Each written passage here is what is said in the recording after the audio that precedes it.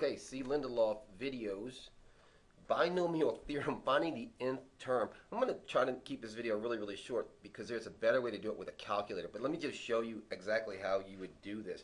They're asking us for the sixth term. So what we're going to do is we're going to look for the combination of 18 taken at 5. 1, 6, whatever the term you want, minus 1 here, right?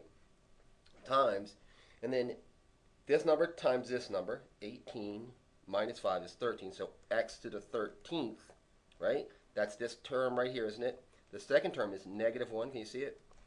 Times negative 1. And this exponential value plus this exponential value has to equal the total here, 18. So 13 plus 5, right? And from here, you would pound this out. Let me actually show you a little bit of this, but I don't want to get into this too much because I don't think that's where we are for this video.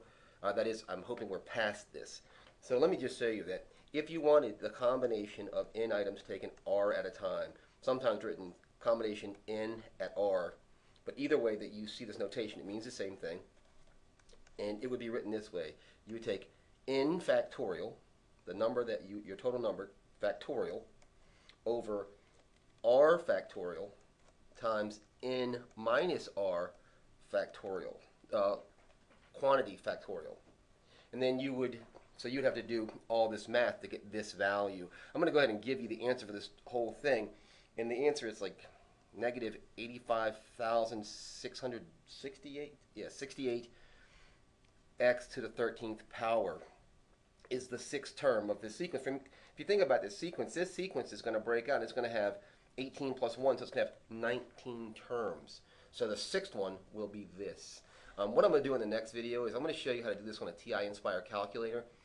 Um, it's just much, much faster. So unless you have a teacher or a professor who's making you show how you're taking your combinations, I would do it using a uh, TI Nspire CAS calculator. So TI Nspire CAS, just so you have it. TI Nspire. Make sure if you buy one, you get the one that says CAS at the end. CAS. So thanks for watching the video. If you have questions or comments, let me know. And if you haven't already subscribed, please do. Thanks.